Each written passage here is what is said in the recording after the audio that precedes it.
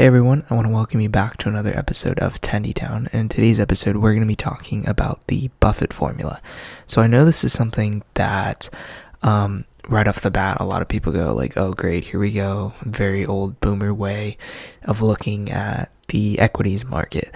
Um, but I want to explain um, why this has come to be something that I have adapted and began to really implement in my life. And I'm going to show you guys exactly how you can do the same. That way, you can build a portfolio that you know is actually with filled with stocks that are mathematically undervalued in relation to the price that they are currently at. Um, you know, I've, I've talked about it a little bit on Twitter in the past month or two, but I've really, in the last couple months, kind of lost my desire to speculate, right? It's, it's one thing to try to find a setup that looks good from a technical standpoint. And I'm not saying technical analysis doesn't work or anything like that, but it's a lot of effort and it's a lot of uncertainty and it's a lot of worrying and questioning yourself and dedicating a lot of time and I'm just not in a position anymore. Um, being in my senior year of college, and uh, you know, trying to develop more of a social life, and really just being able to enjoy um, everything outside of financial markets more, um, it, it just put me in a position to where I realized that I don't have the desire to speculate much on anything anymore. And there's not necessarily a problem with that if you are somebody that does enjoy speculating. I personally just don't want to dedicate the time commitment to speculating in the way that I might have once had. And so I'm developing, uh, you know, trading strategies, whether it be through Theta and uh, portfolios that don't require a time commitment to it. That means if I want to stay up and play Xbox with my friends, I can do that. That means if I want to go out for a round of golf, I can do that. That means while I'm in class, I'm not fretting about the market, something happening in the market where I don't have the ability to pay attention to it at a certain moment in time.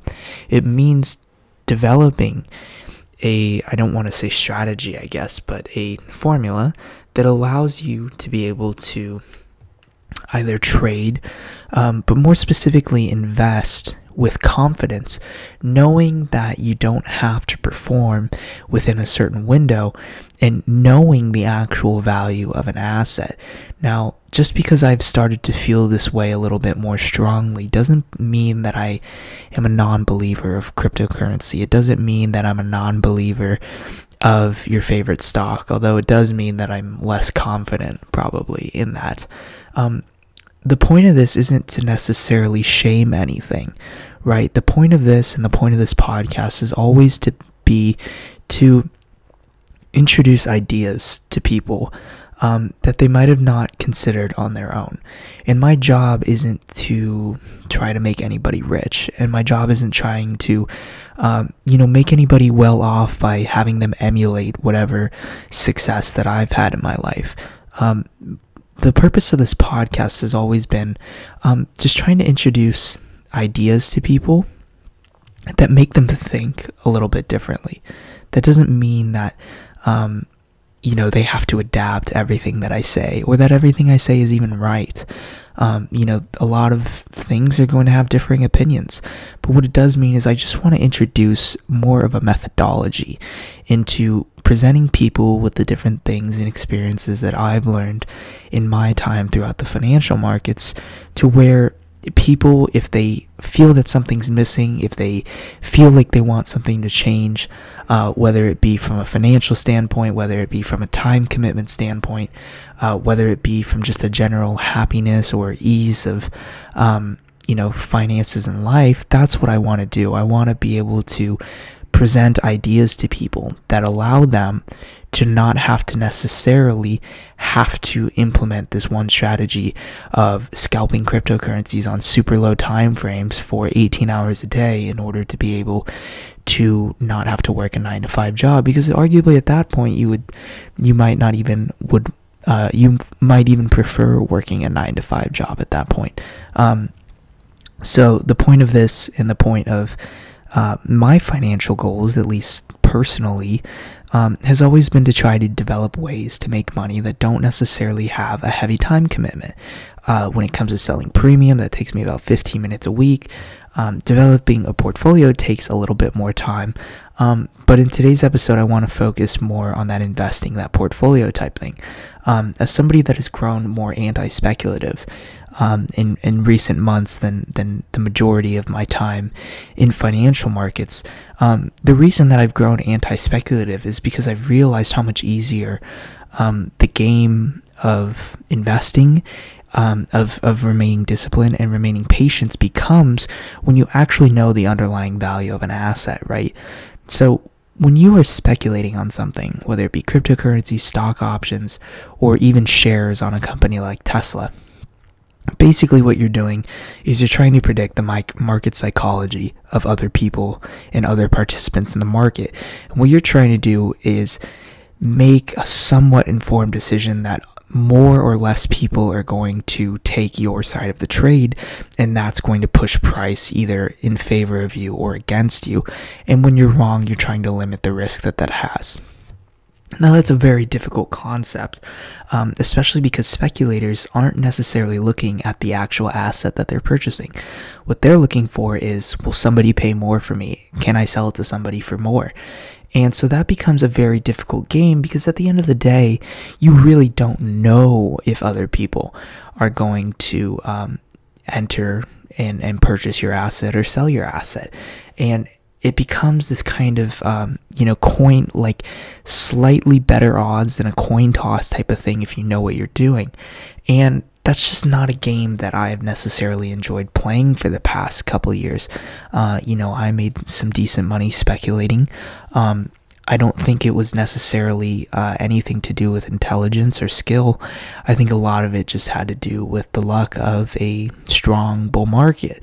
And, um, you know, now that I'm a little bit more experienced and a little bit more humbled and trying to think of ways not necessarily to make exponential returns, but to think of ways to ensure that I keep the money that I have made during a bull market um, for when bad times come so that I have capital to deploy when everybody is caught off guard or um, you know, I'm invested in things to where when the markets inevitably do turn to the downside at some point in time, when you know it's it's rather inevitable, whether it be eight years from now or tomorrow, um, it's really important to me to know and have confidence in my assets. Because if I enter an asset that I'm trying to speculate on, and the market turns and the asset drops thirty to fifty or eighty percent, then I don't really have any incentive to keep holding the asset. And I don't really know if or if not I should hold the asset because I don't know the underlying value behind the asset. So I wanted to show you guys this because this is uh, gurufocus.com. Um, and this is an incredibly useful website that I am going to use to be able to describe the Buffett methodology. And this is going to be an incredibly useful and free tool for you guys to use to build a portfolio using the same methodology. And um, so the the methodology is is fairly simple. It sounds complex if you've never took like accounting before or anything, but essentially what Buffett's methodology is is he likes looking at the balance sheet and the income statements of of uh, companies.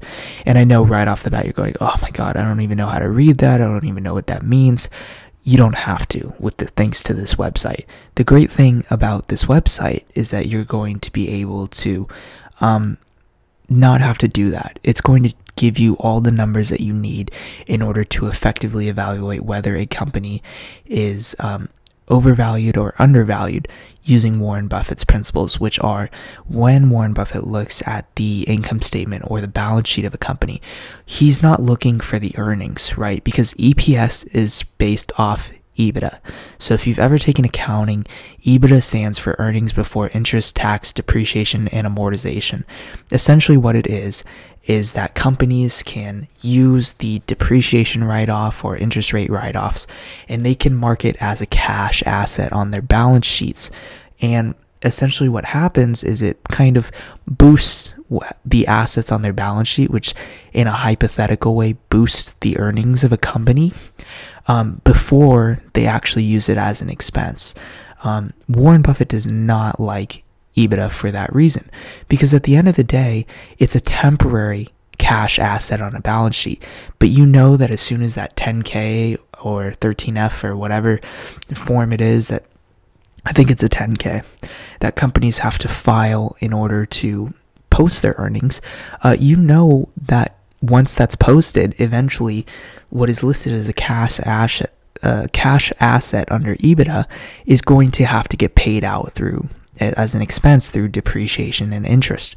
So it's not a real asset and it's a way to artificially boost earnings. And that's not what we want to look for. We don't want to look at artificial numbers.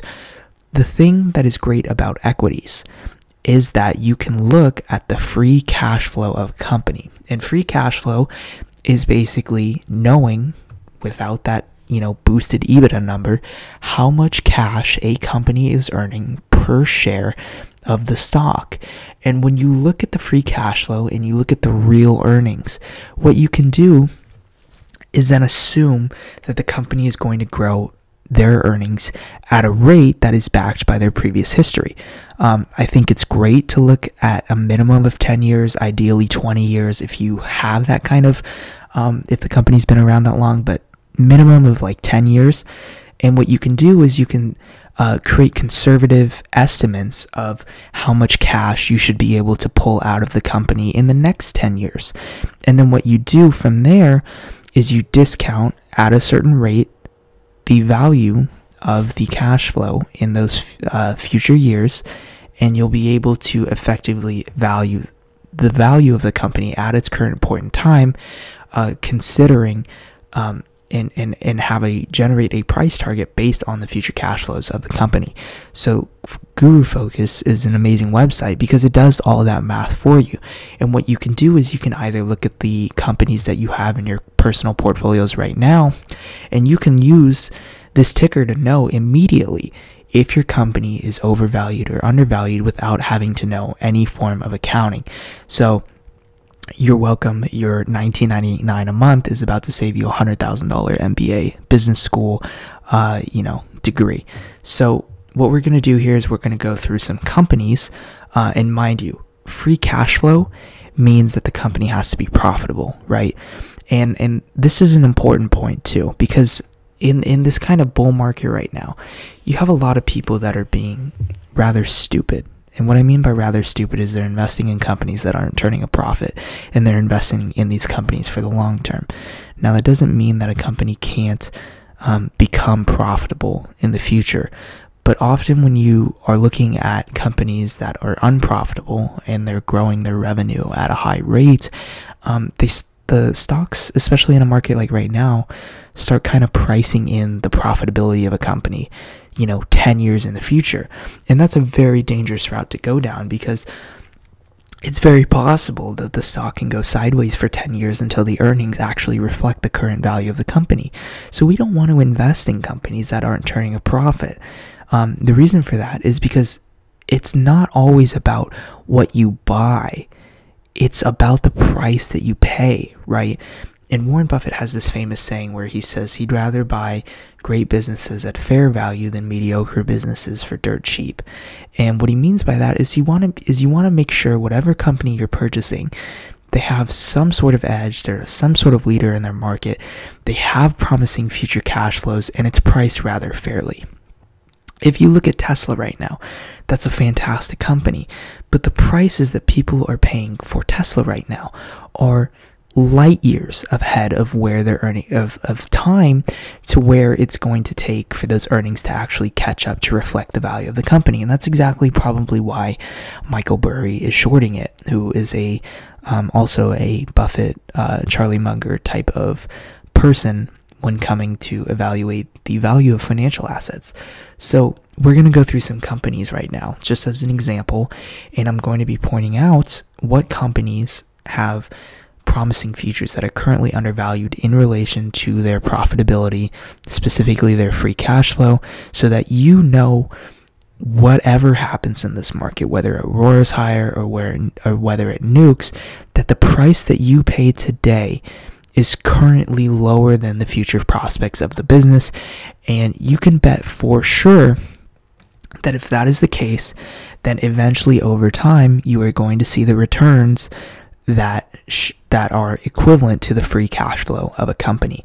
Um, you know, there's a reason that the equities markets typically double every 10 to 12 years, or excuse me, every 8 to 10 years. And the reason for that is because companies are usually growing their cash flows, free cash flows, between 8 and 10% a year.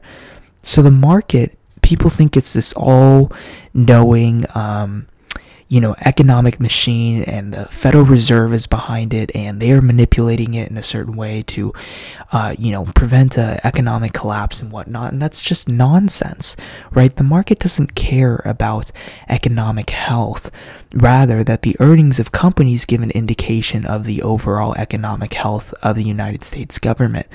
And um, and, and as the you know GDP as a whole. Um, so what we have to do is we have to focus on the free cash flows of the company. And the free cash flows of the company are going to give us indications about the future prospects of the business. And as long as this free cash flow is continuing to increase and that the value of the business, um, you know, is, is growing or the business is actually growing stronger, then there actually isn't much of a need to worry about um, interest rates or what the Fed is doing or somebody's uh, hawkish or dovish or if you should buy gold or Bitcoin or whatever it is because you know the US dollar is going to collapse.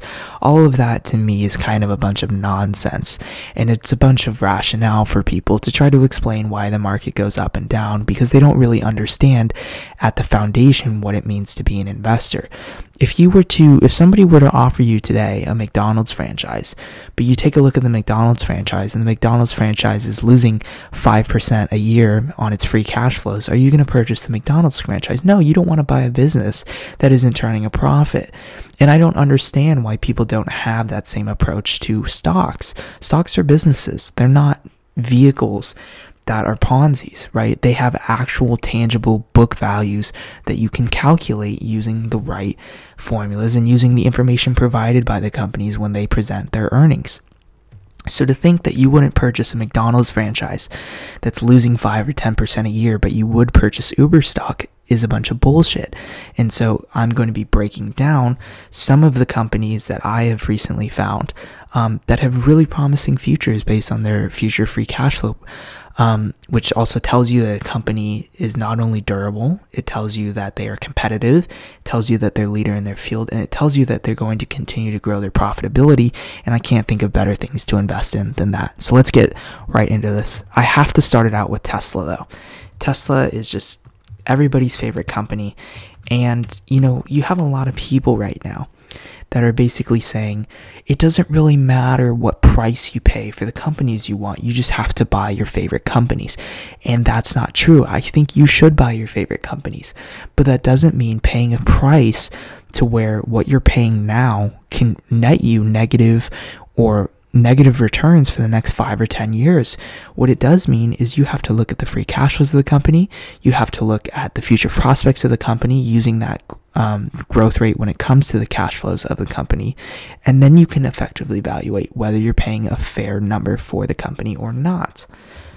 So we're going to get started and we're going to uh, first evaluate Tesla. So, this is why I am not an advocate for purchasing Tesla. Does Tesla have great technology? Yes. Do I think it's going to be a promising company? Yes. Do I think it's going to be the most valuable company in the world someday in 20 years? I think so, yes. But does that mean I want to pay for Tesla right now, giving their current earnings potential? Absolutely not. So we're going to go over here and you're going to go onto Guru Focus and you're going to come over here to where it says DCF and that stands for discounted cash flow. And this is the method that we want to use to evaluate the fair value of a company. So you're going to come over here and if you click EPS, it's going to give you that EBITDA fair value. So that's not what you want to use. You want to use FCF, which stands for free cash flow. And what we want to do is, um, you know, Tesla hasn't been public for 10 years, so there's no, there's not a lot of data in relates to how their free cash flow looks. Um, I think it would be safe to say that they're actually growing closer to 20% a year And for the terminal stage, what we want to do is you want to use 6%. Okay. So usually you're going to look at about 7 to 8% for any normal American company, but we want to be conservative here. The goal isn't to necessarily try to create the highest fair value possible. Our goal is to create the large, the most conservative estimates that we can with a large margin of safety because that means that your RR for going long are safe. You know, if they are safe from a conservative estimate, which means that you're basically uh, making an estimate that is going to be lower than reality, then um, and, and you still get a green thumbs up that there's a good margin of safety, well, that means that you can probably expect even better returns than what you analyze at this current point in time. So, looking at this, we can see that Tesla's currently valued at about $103 a share for its free cash flow. It's currently trading at 785. This is not a company we want to own because, in the event that there is a market mean reversion and cash flow starts mattering again, um, then you know you're looking at a possible you know 80% loss on this company, which is exactly why Burry's betting against it. So we do not want to invest in a company like Tesla. Now let's look at some of the FANG names, okay? So FANG, you know, Facebook, Apple, Netflix, Google, Amazon, um, you know, these are companies that people are arguing are propping up the market. They are arguing that um, there's too much market share, that they are holding up the market, that it's making it a Ponzi, that they're 25% of the S&P 500, and that um, the uh, spread of the overall weighting of the market is not good because all of these companies are overvalued. So let's take a look at Apple, which is an incredibly cash rich company. And Warren Buffett has 40% of Berkshire Hathaway, uh, which makes up his net worth in Apple. And let's find out why. Okay. Apple, for the past 10 years, has been growing its um, is free cash flow about 16%. To be a little more conservative, we're going to make it 15%. But we also know that a 4% growth rate over the next 10 years is, is rather uh, low prospect. So we're going to bump this up to 6 as I mentioned, and we'll see that even today Apple is undervalued. Its current free cash flow, um, based on the future cash flows of the company, um, should value the company at about $177 a share, right? So while people are screaming their head offs about how Apple has gone up, you know, 4x in the past like two years, the company is still undervalued. And, you know, that means that people are going to try to short Apple. They're going to say that the market's overvalued, whatever, but they're actually not even looking at the free cash flows of the company.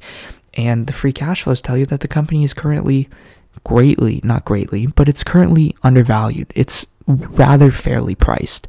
And, you know, this is a great business. It's why it's the number one business in the world as far as market capitalization is because it's such a cash rich company. Now let's look at a company like Facebook. This is a company that I have been very publicly bullish on and for good reason. Okay. Facebook owns Instagram. They have an incredible um, you know, platform when it comes to advertisement. And you look at these numbers here, and they're very, very promising. So, Facebook, when we look at the free cash flow of Facebook, um, what you'll find here is that it's also or it's deeper undervalued than Apple currently is, and that's great for me because the stock is already 15% off the highs where it was at 380, where the margin of safety wasn't as good as it previously was. Now you'll notice here that for the past 10 years, the free cash flow growth has been about 50%. Okay, but we don't want to use that 50% metric because I don't think it's likely that uh, this company is going to become a $5 trillion company in the next like 10 years. But within the past five years, which is a more conservative estimate, it's been about 23%. So 20% growth rate over the next, um, starting right now, is a fairly conservative estimate. And then the terminal growth rate we want to bump up to 6%. That gives us an almost fair value of $500 a share. And with it currently trading at 330, we have a good margin of safety here to know that if they continue to grow their cash flow at this rate, which you will see right here, right? And we look at the um, about a year of cash flow from um, Q2 2020 to Q2 uh, 2021, we'll see there's a consistent growth of cash flow. All right, let's look at some of the other Fang names. Let's look at Netflix. This has been popular, particularly um, in the past few years, um, because they've been pumping out great content. But that doesn't necessarily mean that Netflix is trading at a relatively good uh, value if we look at this discounted free cash flow. Um, so Netflix is obviously a company with high um, with high uh, earnings, right? Um, they pretty much just became profitable within the last year or so. Um, but this isn't a company that's cash rich. It's very expensive to um, produce these types of content on a mass scale. Now, I think a lot of those investments are going to start paying off.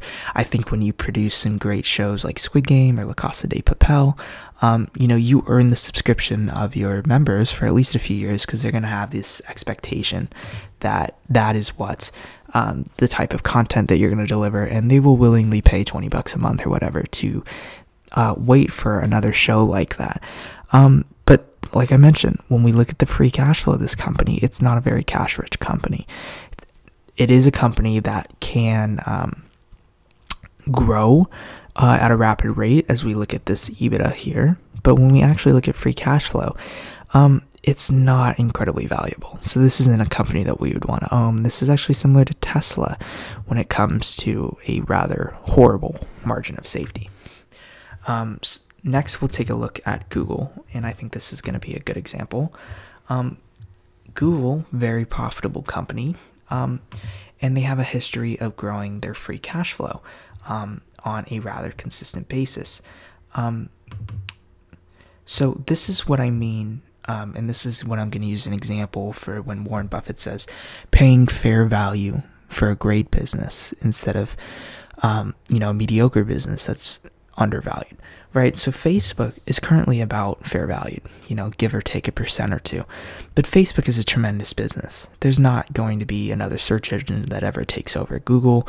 Um, they also have a ton of um, startup foundations where they're, you know, working with Waze or, or Waymo to create self-driving cars and all this sort of stuff.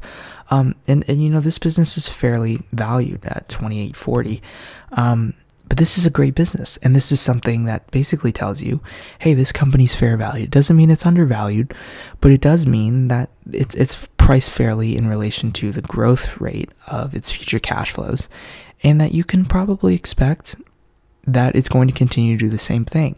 So you can buy a great business like Google at a fair price instead of paying, uh, you know, a mediocre price, or excuse me, paying a great price for a rather mediocre business. So we'll um, we'll look at maybe a mediocre company like General Motors, where they have a lot of competition. They went bankrupt.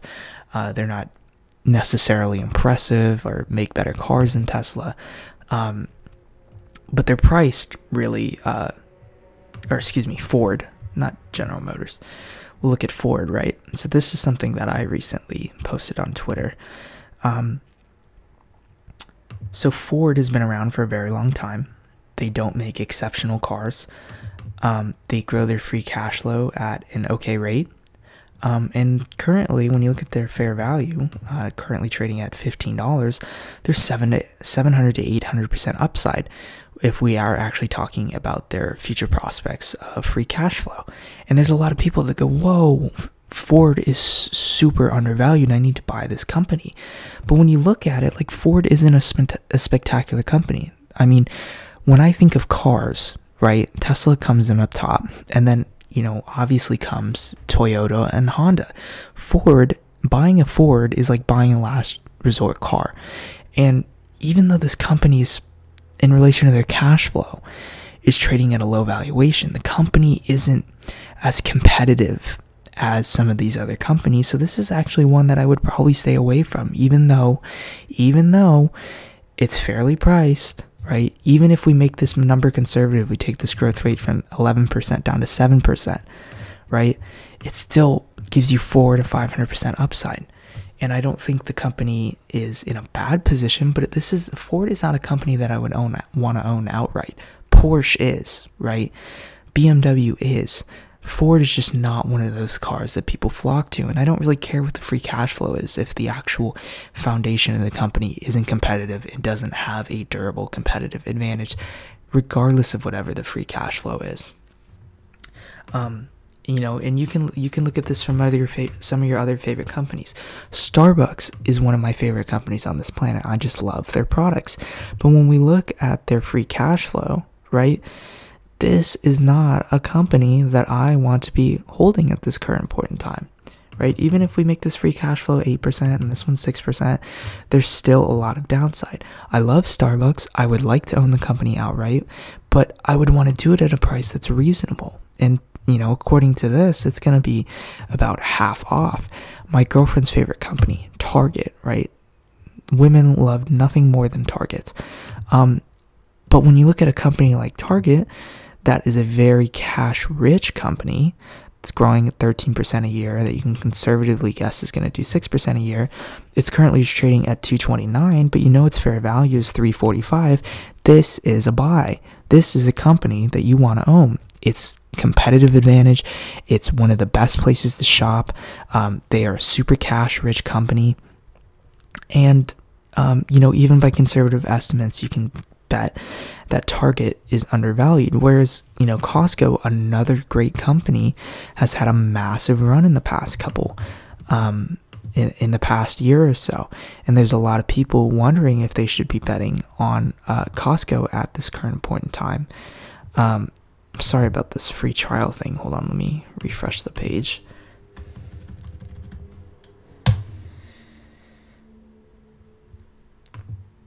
Why is this not working?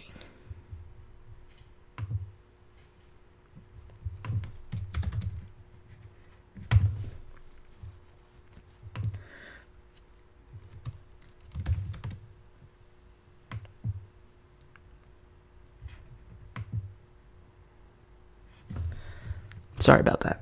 Anyways, looking at Costco, even though this is a fantastic business, even though they make a lot of money and they grow their free cash flow at a good rate, when we look at it over the past 10 years and you know its future expected value, Costco's had a massive run in the past year. Just in the past 6 months alone, it's basically rallied from its basically free uh, fair value over here at 360 all the way up to 450 now the expected returns have to be less than this. Now costco is always a company that is traded at more of a premium compared to target or walmart or whatever you want to call it.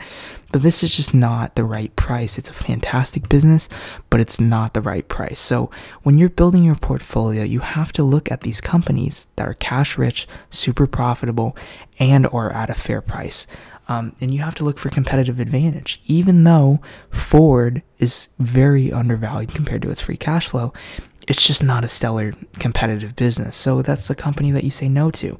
You look at Home Depot. If you want to buy anything for your home, where do you go? You go to Home, you go to Home Depot, or you go to Lowe's. Both of those companies are very rich. Um, but when we, I would argue that Home Depot is probably the favorite. And when you look at it from a perspective of the free cash flow, Home Depot is undervalued. Its fair value is about 423. But you come over here at Lowe's, which is arguably runner uh, runner up in that sort of uh, duopoly business. Um, you know, it's a little bit overvalued. It's not incredibly overvalued to the point where, um, you know, you should consider selling or anything like that. Um, but it is, you might be paying a smidgen more and if you are going to purchase now, you should just expect um, slightly lower returns in comparison to the Home Depot stock. Um, and I just want to reiterate before I finish this episode this doesn't mean that I think if you've held Apple for the past 10 years, or Amazon, or Facebook, or Tesla, or whatever, that you should sell it because um, you know, obviously there's a tax obligation that comes with that. And if you've owned those businesses for a long time from a lot lower prices, doesn't mean you necessarily always have to sell them. Uh, now, if I own Tesla, I would probably sell, given how incredibly overvalued it is compared to its free cash flow, but it doesn't mean that you have to, right?